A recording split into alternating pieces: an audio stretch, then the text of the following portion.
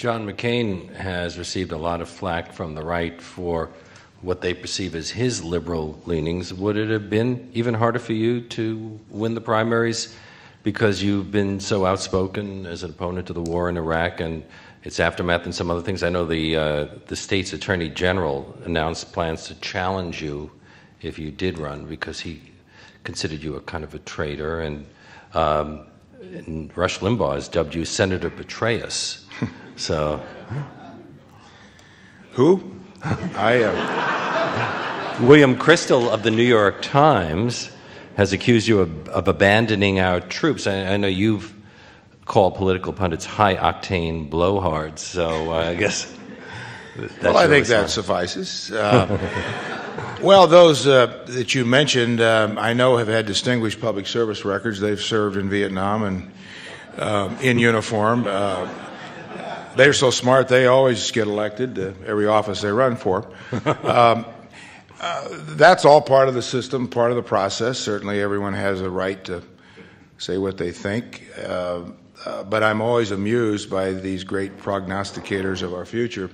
Uh, I think they cheat our country when they don't offer themselves as candidates, uh, rather than just sit on the sidelines and then uh, define everybody else as idiots or whatever they want to say. I, I think Rush should run for president. Uh, Kristol should be a Secretary of State, maybe. I, they have so much to offer. It's, it's interesting that they question the patriotism of people who did serve. You in Vietnam, now let me see if I got this right. You received the Vietnamese Cross of Gallantry, an Army Commendation Medal, the Combat Infantry Badge, two Purple Hearts. Uh, we saw Max Cleland lost arms and legs. John Kerry got, was cited for bravery. It seems to me anybody who isn't lockstep with the with who is supposedly politically correct at any time is can be called a traitor no matter what he's done. Well, uh, this um, uh, definition of uh, name calling and process uh, didn't uh, just start uh, recently. I mean, some of the the, the great examples of this, uh, when you go back uh, to read Harper's Weekly in the 1800s and what they said about Abraham Lincoln and uh, all the uh, the vilification of so many candidates. Unfortunately, it's part of a process that debases the system. It drags down the country. Uh, it's fraudulent because when people do that, they don't address the, the real issues. That also has always indicated to me a, a very weak, bigoted mind when they do that. Obviously, they're afraid to debate on the merits of an issue. Uh, name calling is easy, and uh, it's uh, occasionally humorous, intentionally, once in a while.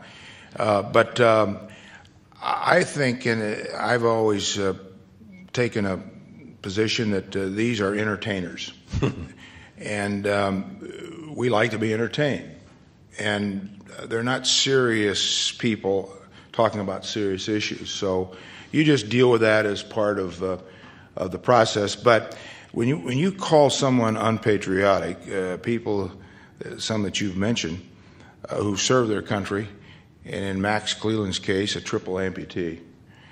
And uh, I think you know the story about uh, uh, what I did and said when he was up for reelection in 2000 and two, uh, when they smeared him down there, my party, with putting his picture up on the television uh, commercials uh, along with bin Laden and Saddam Hussein.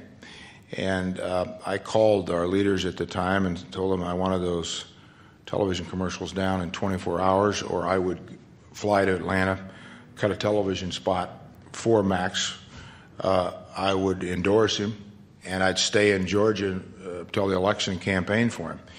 And um, what was most troubling about that conversation I had with those two leaders was they uh, didn't object to what I said, but they somehow missed the point of the seriousness of what I was trying to convey. That this was wrong. I mean, you, you can take Max Cleland on on any issue you like, and we're all uh, subject and should be. Any elected official's record is open uh, for challenge. Uh, but when you um, take any individual, but particularly someone like Max Cleland, and you uh, do that to them, you have crossed a line that's indefensible, that's disgusting, despicable, and that's what I called it all. And I think if more of us, not that I'm a saint here, not that I'm the only one that does it, but more of us must do this. The public must demand it. I don't care what party you're from. If the other party's doing it, uh, uh, or your party's doing it, it doesn't make any difference. But